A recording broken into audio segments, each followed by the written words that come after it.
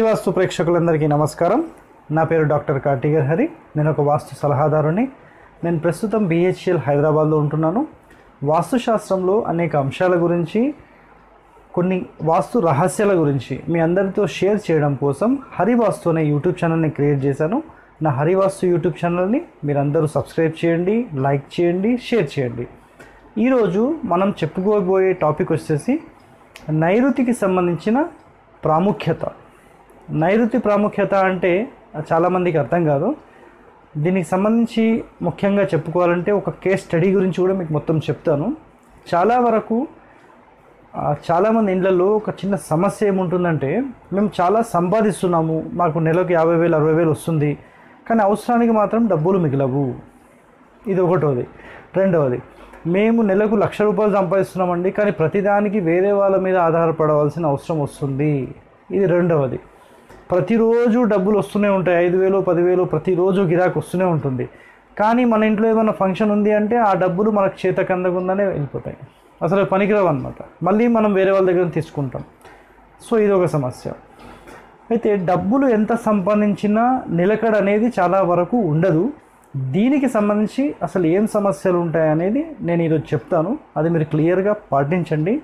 So డబ్బులకు సంబంధించిన సమస్యలు మాత్రం ఎవరికి రాకుండా దీని ద్వారా మీరు చేసుకోవచ్చు. ఓకే? టాపిక్లోకి వెళ్దాం.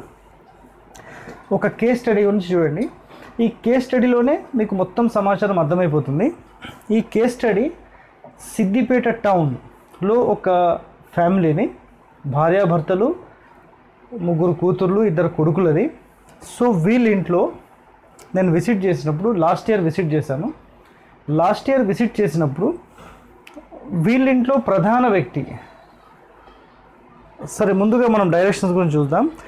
ఈస్ట్ వెస్ట్ సౌత్ నార్త్ ఇది వాళ్ళ మెయిన్ డోర్ ఎంట్రన్స్ ఈశాన్యం నుంచి రెండవ స్థానంలో ఉంది. అగ్ని స్థానంలో కిచెన్ బాగానే ఉంది.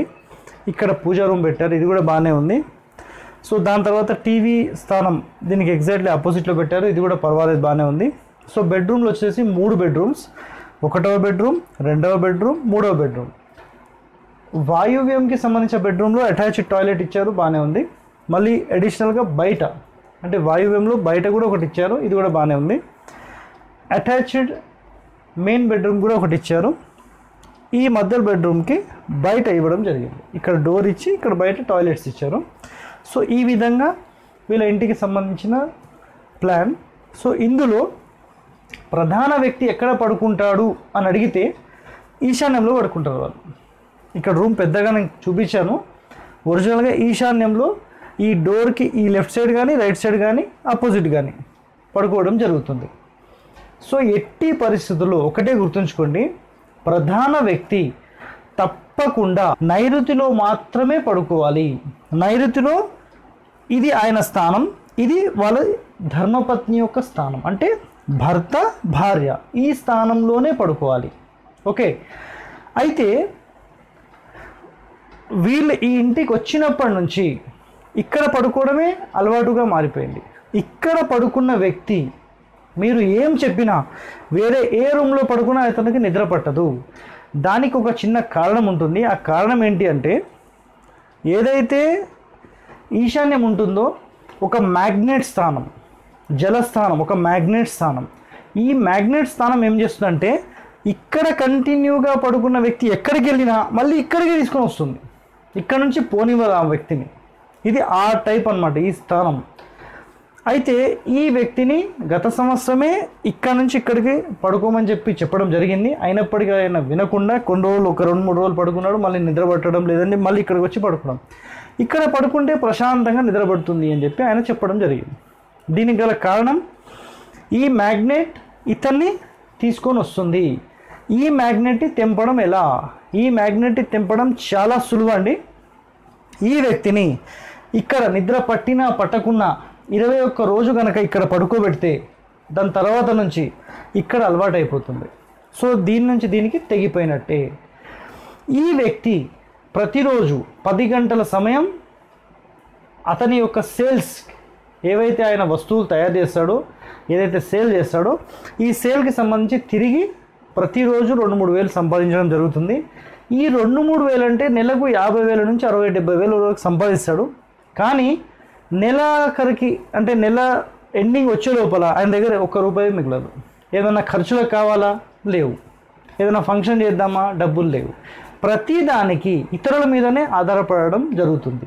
సో దీనికి గల కారణం ఏంటి అంటే ఈ వ్యక్తి ఇక్కడ పడుకోవడం లేదు. ఇక్కడ పడుకున్న వ్యక్తికి మాత్రమే స్థిరత్వం ఏర్పడుతుంది. ఇది చాలా ముఖ్యమైన విషయం. ఇక్కడ ఎవరు పడుకుంటున్నారు? వీళ్ళ భార్య. వాళ్ళ పిల్లలు ఎవరైనా వస్తే ఇక్కడే పడుకుంటారు. అంటే ఆడపిల్లలు ఎవరైనా వస్తే ఇక్కడే పడుకుంటారు. ఎట్టి పరిస్థితుల్లో ఆడపిల్లలను ఈ బెడ్రూమ్లో పడుకోనివ్వకూడదు. అయితే ఇక్కడ ఏం జరిగింది అంటే ఇన్ని సంవత్సరాలలో ఎవరైతే భార్య ఉందో ఈ రూమ్లో పడుకోవడం వల్ల ఆమె చాలా శక్తివంతురాలయ్యి భర్తనే శాసించే స్థాయికి ఎదిగింది. భర్త ఏమన్నా గట్టిగా మాట్లాడితే ఏమండి ఏం మాట్లాడుతున్నాడు అనగానే అన్న చల్లబడిపోతాడు. ఎందుకంటే ఇది కమాండ్ లైన్. ఒక వ్యక్తి మీద మీరు కమాండ్ చేయాలి అంటే ఈ స్థానంలో పడుకుంటేనే అది సాధ్యమవుతుంది. ఈ వ్యక్తి ఇక్కడ పడుకోవడం వల్ల అందరికంటే ఇతను వేస్ట్ పర్సన్ కిందకి వెళ్ళిపోతాడు. అంటే పనికి రాని స్థాయిలోకి వెళ్ళిపోతారు. ఇక్కడ ఒకటి గుర్తుంచుకోండి. ఈ ప్రదేశం నుంచి ఈ ప్రదేశం మీరు ఎక్కడ పడుకున్నా ప్రయోజనం లేదు. ఇది మొట్టమొదటి స్థానం రెండవ స్థానం మూడవ స్థానం నాలుగో స్థానం ఐదో స్థానం. ఇంతే ఇక్కడే. ఎట్టి పరిస్థితిలో ఈశాన్యం వైపు పడుకోకూడదు. ఈశాన్యంలో పడుకున్న వ్యక్తి ఏ విధమైన దానికి పనికి రాకుండా పోతాడు. ఈ వ్యక్తికి మీరు సింపుల్ ఒకటే. వెళ్ళి అది తీసుకొని రండి అని చెప్తే ఏ ఏం పోతుంది? ఇప్పుడు నేను పోను నాకు ఇప్పుడు పోబుద్ది కావట్లేదు సాయంత్రం పోతా కానీ.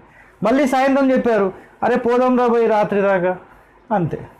సో ఎవరైనా కస్టమర్స్ ఫోన్ చేశారు ఈ సామాన్ తీసుకురాలి "ఆ, నేను ఈరోజు జర బిజీగా ఉన్నాను నేను రేపు వస్తాను ఓకేనా? ఈ పని ఉంది ఇక్కడ రా. అరే ఇప్పుడు నేను రాను కానీ నేను తర్వాత వస్తా తర్వాత చేసుకుంటలే. మీరు వెళ్ళండి. అయిపోయింది. ప్రతి దానికి డిలే. ఈ వ్యక్తి ఈశాన్యంలో పడుకుంటే ఏమవుతుంది? మనిషి లావెక్కిపోతాడు. ఎట్టి పరిస్థితిలో తూర్పు వైపు తల పెట్టుకోకూడదు. దీంతో పాటుగా జలస్థానంలో పడుకుంటున్నాడు కాబట్టి ఇతనికి కఫం ఎక్కువగా పెరుగుతుంది. కఫం పెరగడం వల్ల మనిషి లావెక్కుతాడు.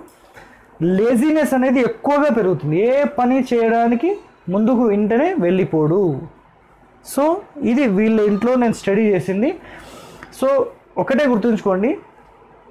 ఇంటి యొక్క ప్రధాన వ్యక్తి ఖచ్చితంగా నైరుతిలోనే పడుకోవాలి. ప్రధాన వ్యక్తి అంటే ఎవరు అనేది కూడా మీకు చాలామందికి తెలియదు. ప్రధాన వ్యక్తి అంటే ఇంటి మొత్తాన్ని ఎవరైతే మెయింటైన్ చేసే పరిస్థితిలో ఉన్నారో వాళ్ళు ప్రధాన వ్యక్తి. మా ఇంట్లో మా తాత ఉన్నారండి అందరికంటే పెద్ద వ్యక్తి. ఆయన కాదండి. మీ తాత సంపాదించి ఇంట్లో అందరికి ఏమేం కావాలో చూసుకోవడము బయట వెళ్ళి మాట్లాడి రావడము తీసుకొని రావడము చేయడము ప్రతిదీ ఆయన చేస్తే ఆయన ప్రధాన వ్యక్తి. సాధ్యమైనంత వరకు పెద్దవాళ్ళకి ఈ రూమ్ ఇస్తుంటారు అది తప్పది. ఎవరైతే ఇంట్లో ఇప్పుడిప్పుడు జాబ్ చేయడం స్టార్ట్ చేసి అతనికి ఒక మంచి స్థాయి రావాలి అంటే ఈ రూమ్లో పడుకోబెట్టాలి. ఇది సాధ్యం కాకపోతే సెకండ్ ఇది సాధ్యమైతే ఇక్కడ ఇది సాధ్యం ఇక్కడ. ఎట్టి పరిస్థితుల్లో ఇక్కడ రావద్దు. ఇక్కడ వచ్చింది అంటే ఇంకా వేస్ట్ ఇంకా. అతను పనికి రాకుండా పోతాడు. నేను ఇంతకుముందు జోగిపేట్లో ఒక ఇంట్లో గమనించినట్లయితే వాళ్ళ చిన్న అబ్బాయికి ఈ రూమ్ ఇచ్చారు. ఈ రూమ్ ఇచ్చారు.